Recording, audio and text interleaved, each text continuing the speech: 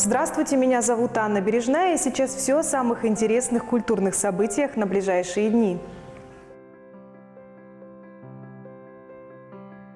На спектакль Анна Каренина приглашает театр имени Максима Горького. Зрителя ждет интересная трактовка отношений героев, оригинальные сценографии хореография, музыкальное и световое решение постановки. Режиссер Мортен Боргерсон. Начало в 18.30, стоимость билетов от 300 до полутора тысяч рублей.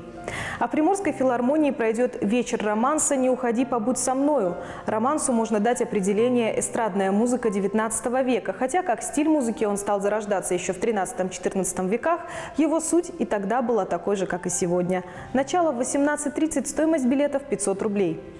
Григорий Лепс выступит на сцене Владивостокского цирка. Заслуженный артист России, обладатель премии «Золотой граммофон», «Песня года», «Шансон года», музыкальных наград телеканалов Муз-ТВ и РУ-ТВ Григорий Лепс исполнит любимые песни поклонников. Начало в 19.00, стоимость билетов от 2,5 до 7 тысяч рублей. Группа «Ночные снайперы» даст концерт на сцене Феска Холл в рамках юбилейного тура. Одна из самых влиятельных групп в истории российской музыки к своему 25-летию готовит альбом «The Best», в который войдут самые любимые хиты снайперов в новых аранжировках. Начало в 19.00, стоимость билетов от 2 до 4 тысяч рублей. Серия встреч с Андреем Аствацатуровым, современным российским писателем, филологом, заведующим кафедрой междисциплинарных исследований в области языков и литературы факультета свободных искусств и наук СПБГУ, проводит в Центре современной культуры «Хлебозавод». Тема очередной лекции «Фигура женщины в литературе англоязычного модернизма». Начало в 18.00, вход свободный.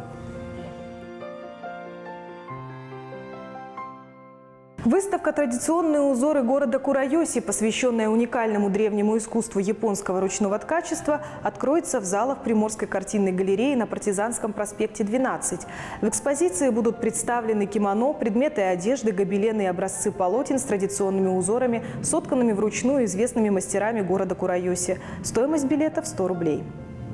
Всероссийский фестиваль науки «Наука 0+,» стартует в АВГУЭС, который станет центральной площадкой события. «Мега Сайенс. Россия в мире. Россия для мира» – тема фестиваля этого года. Зачем государства объединяются и тратят миллиарды долларов на научные проекты и мегаустановки? Как открытия «Мега Сайенс» меняют нашу жизнь? Многие другие, естественно, научные и гуманитарные темы раскроют в лекциях и экспозициях «Наука 0+.» Начало в 10.00, вход свободный. Ежегодный фестиваль «Небо для всех», посвященный Международному дню воздушных змеев, состоится в МГУ имени адмирала Геннадия Невельского. Начало в 10.00, вход свободный. Полуфинал Приморской лиги Международного союза КВН пройдет на сцене Феска Холл. За выход в финал будут бороться лучшие команды Дальнего Востока. Начало в 19.00, стоимость билетов от 300 до 600 рублей. А на сцене Мариинского театра дадут одноактные балеты «Бэмби» и «В джунглях». Создатели балетов поставили перед собой непростую, но благородную задачу. Относясь к детской аудитории с большим уважением, они стремятся разговаривать с ней на равных о жизненных ценностях.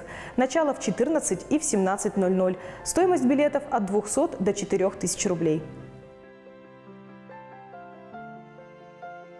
18-й Дальневосточный фестиваль искусств «Болдинская осень» начнется в Пушкинском театре ДВФУ. Стихи и проза, музыкальное и вокальное творчество, хореография, живопись и фото, театральные постановки и музыкально-поэтические композиции, прикладное и устное народное творчество. Фестиваль «Болдинская осень» дает возможность еще лучше узнать и еще больше полюбить гениального поэта. Начало в 10.00, вход свободный.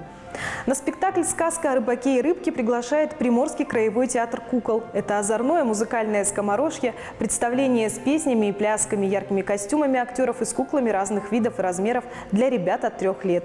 Начало в 10.00, стоимость билета в 250 рублей.